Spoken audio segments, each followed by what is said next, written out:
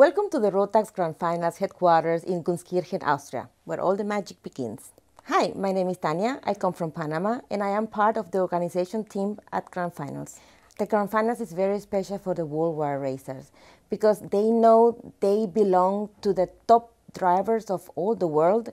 No matter where you see at the Grand Finals, you're going to see happy faces.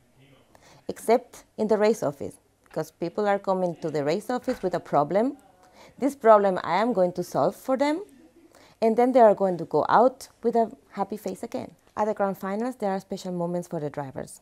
The chassis parade, the big picture, they get together at the Grand Finals tent where they can share their experience with other drivers from all over the world.